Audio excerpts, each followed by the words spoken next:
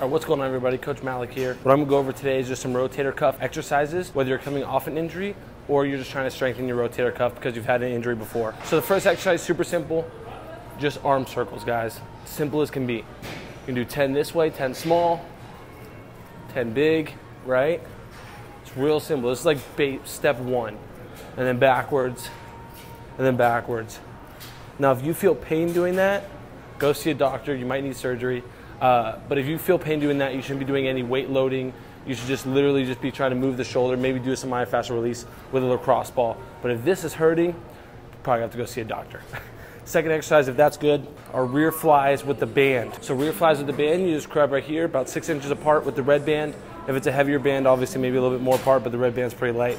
So six inches, pulling it to my upper chest, again, right above my nipple line, and I'm squeezing, I'm squeezing the back of my shoulders.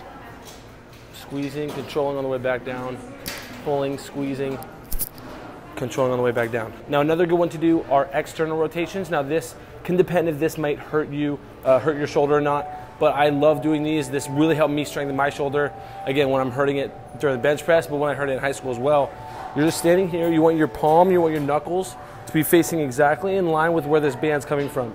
You don't want to be way out here, you know, where the band's all like different. You want the band to be straight, you want your knuckles to be facing towards the band. From here, you're just gonna rotate out. Again, work on that rear shoulder, the back shoulder, coming back. Out, hold, control back. Out. So I'll do about eight, switch, eight. Again, my knuckles are facing towards where the band's coming in line. Boom. Good one is internal rotation. So it's the same exact thing. Again, you want to make sure your knuckles are going towards the band, right? So even on this one, you're not way out here where the band's going at 90 degrees. You want to stay in line with the band and your knuckles. So knuckles in line.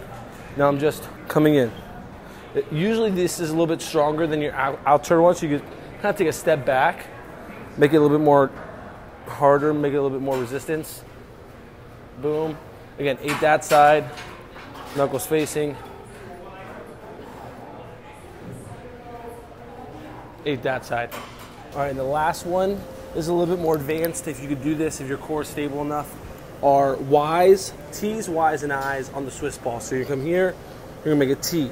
Now when I make a T, I wanna focus on my pinkies facing the ceiling.